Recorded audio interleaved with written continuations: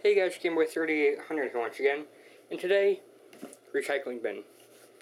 Um, which is actually actually quite fitting because I am recycling and well everything that's in here. Um, I went back to the flea market, saw my buddy, and got some more computers. This time I checked to make sure they're all complete, threw out the ones that weren't. So, first off, Apple clamshell. Um, he did include the power adapter for this. That's not it.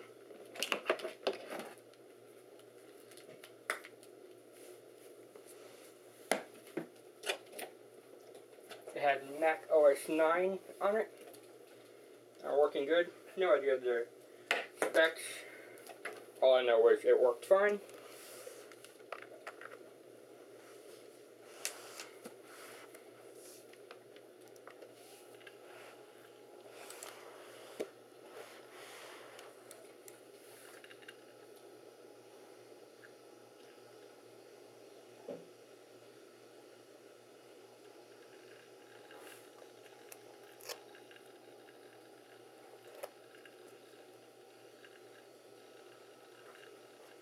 There's actually going to be a, a, guy here soon to deliver firewood, so I apologize for any noise in the background.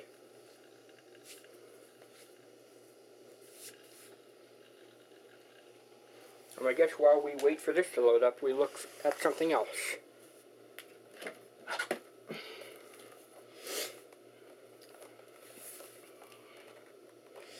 Here we have a 100% complete um, Fosa laptop. I made sure to get 100% complete everything. And by the looks of it, it's a um, Sega Clevo D4F laptop. And if I look at the bottom, it'll probably have product code D4F. Now, NP3100S. I still, I still think that's a pretty good uh, deal there.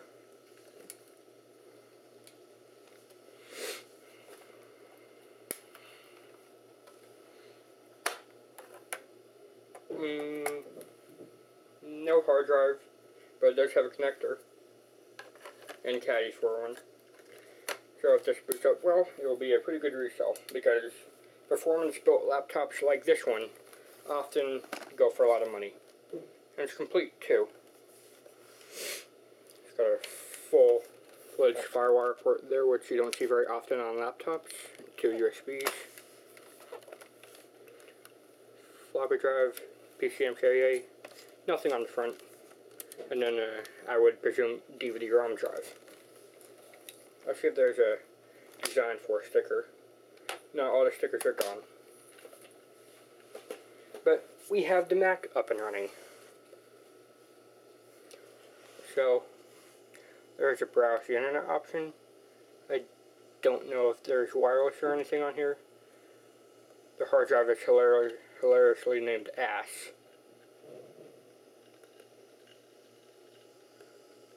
Let's see if we can rename that. The mouse is a little bit glitchy. Erase disk, sleep, shutdown, restart. It had Word for Mac 98 on it. I'm I presume a CD-ROM drive. Nothing's in it. I don't know if the battery holds any kind of charge, so let's, let's shut it down. That's right the older Mac OS, you need to hold down the button. Now while that shuts down, we'll look at the next thing. IBM ThinkPad. It's very similar to the one I had before, actually. Um, i series. It's well type two six eleven. I actually have a few a few different kinds of this model. This is a particular one with the um, phone line instead of the landline. It's got a single USB port on the back here. Docking ports covered up, that's nice. Power adapter there. Case is coming apart a little bit, but it's complete. When I did the power, I heard a little click, so think the battery actually has some kind of charge in it. Still, kind of. Now this is a mostly parted out uh, HP Compaq model CM2080. Missing the, um, it does have a battery, just fell out. Um, I presume CD-ROM drive. Does it need its own caddy? Nah, standard, standard uh, hard drive thing. It's got this weird residue all over it. Um, only thing it's given me is Pentium 3, Compaq Pro 1700. No RAM. Oh. Wow. Massive AC adapter for IBM. Ah. One of those mini IBM desktops. I didn't even realize this was in here until the last second.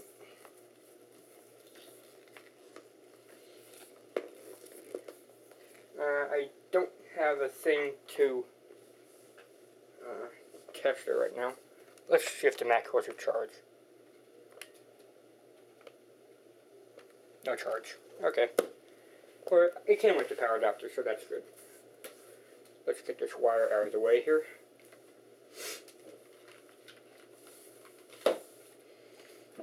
Up next on my list is a Compaq Armada. I've had a few of these before. Here's the battery. CMOS battery it looks like. No hard drive or CD-ROM drive. It's got the keyboard. Looks like it's got the little nub here. Pentium 3 and designed for Windows 98.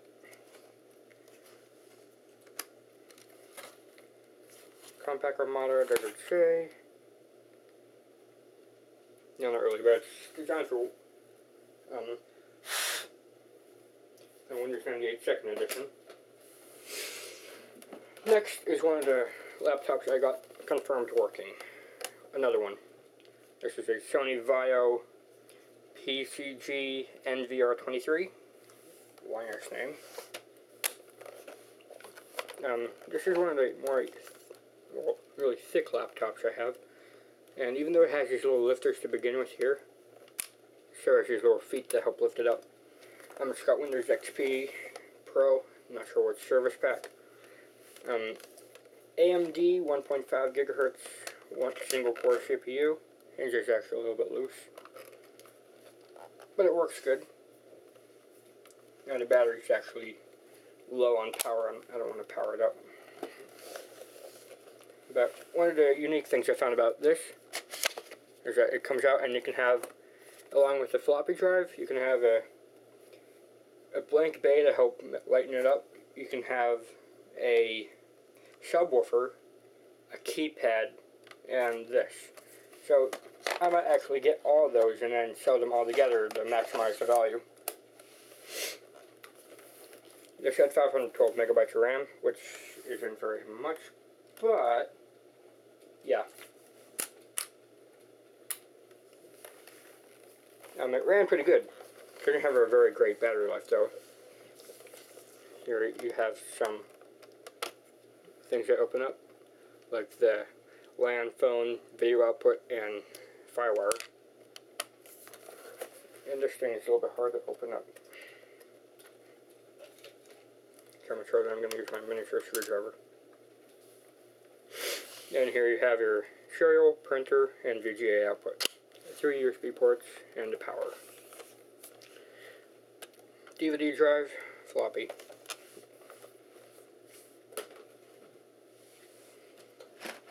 Here we have a gateway. Gateway Solo, I'm not sure which one, if it, even if it is a Solo actually. Pentium 3, no hard drive, no CD-ROM, but it does not have any floppy disk, I thought it did. A little bit dusty.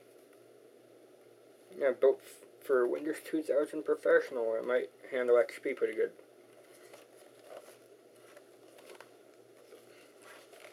Um, is this a battery? I think that is a battery. Good job there. I just made sure they had complete keyboard and everything. Okay, here we have another IBM of a different kind this time. One that I've had before.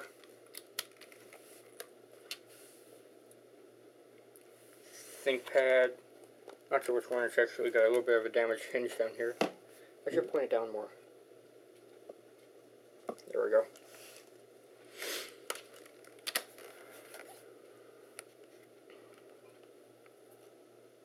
A rubber thing covering this one. Is there anything underneath it?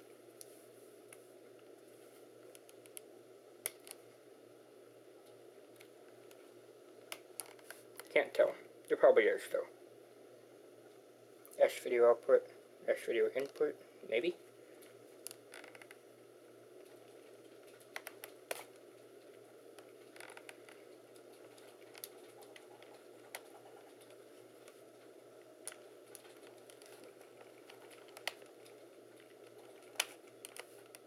Nope, blank cover. Wires. Back in it goes. No CD-ROM drive. Two PCMCIA cards. Fan ventilation. Printer, LAN port, phone line. Serial VGA, one USB, PS2 mouse, and then power. Over here you have your audio stuff where the hard drive would go, and the floppy drive.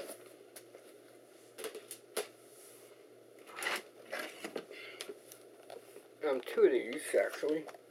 This is a less complete model, I believe. Miss, missing the DVD drive.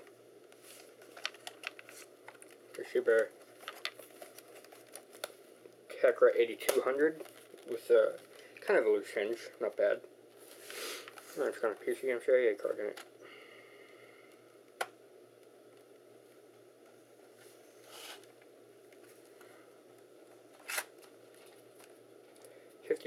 56k Win modem. That's some kind of, uh, that's just a fan. I thought it was a expansion card.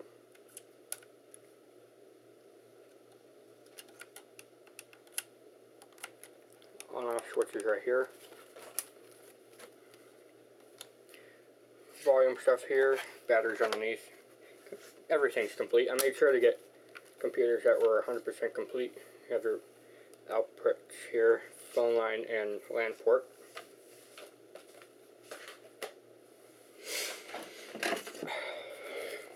Alright, here we have a notebook computer. Um, pretty much the same kind of thing as the Fosa computer. Um, except this is a model 3300C. Missing the hinge covers, but that's all it's missing. It's a very heavy unit, which leads me to believe that there's a hard drive and everything in it. Sometimes these performance computers have everything under the battery. Let's see if this is one of the cases.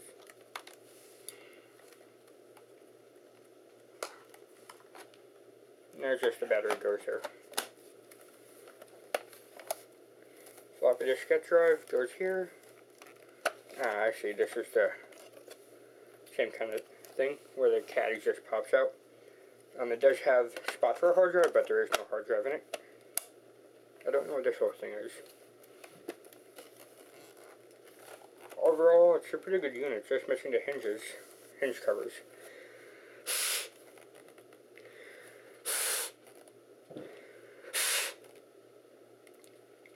Fan doesn't seem to be very spinny though.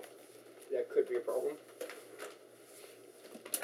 Here is the second Toshiba uh, Tecra. This is the 8100, better hinge. And this is the more complete model. Pretty much everything's the same. This, just this one has a CD-ROM drive. Docking ports here. Power. Yes.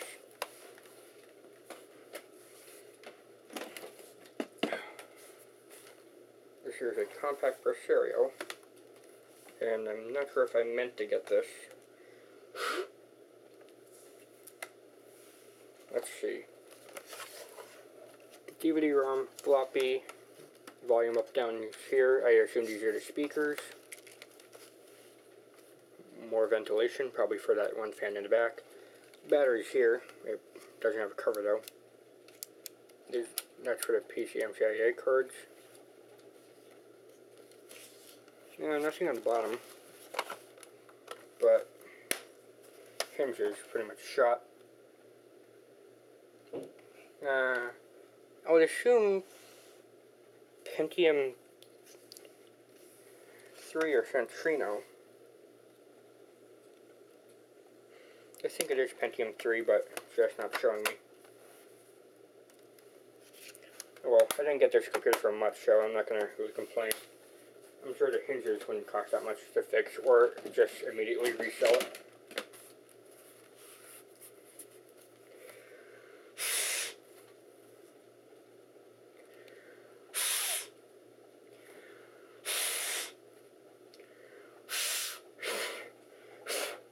Try to get as much dust and stuff out of the fan ventilation as possible. This is another Compaq Armada. Again, missing its little hard drive, but this is the M700 Armada. Worn off Pentium 3 sticker. Again, it looks like it's got a battery. It's got the CD-ROM drive. Yep, CD-ROM.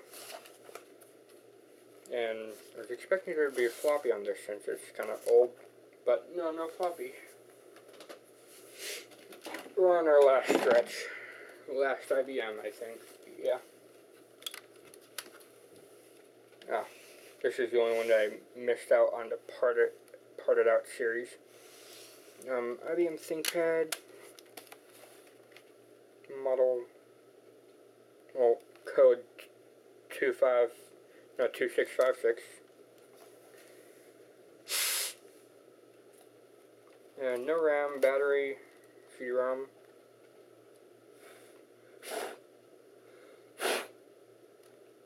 Very dusty in there.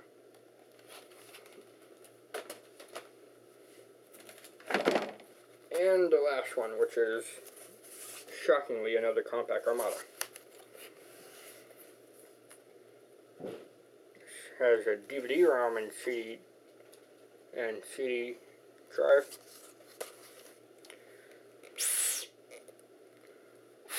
Cleaner fan here. And it's another M700 Pentium 3. And that's it for the laptops. There's a few accessories in here too.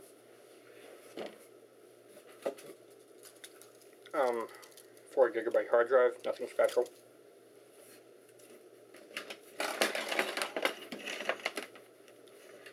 A random power brick, I would assume it's actually enough to, uh, nope, not a chance, just, it's just an AC adapter that powers nothing.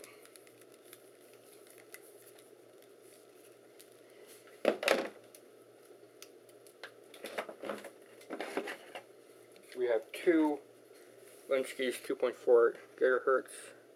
Um, one's an 802.11b, one's an 802.11g. This one's all damaged.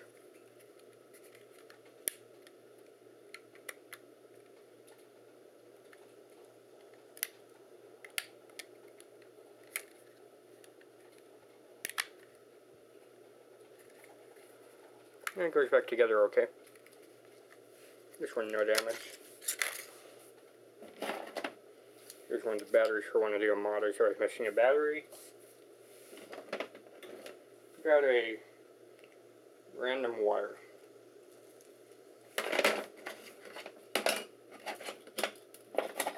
Then we have a few memory covers. So, yep, that's pretty much it.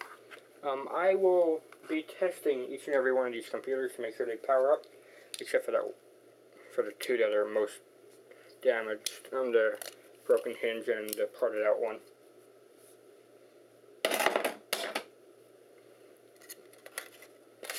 but yeah, hundred dollars for all those. That includes their working ones, their DeMac, the Vaio, and all the old ones that were in here.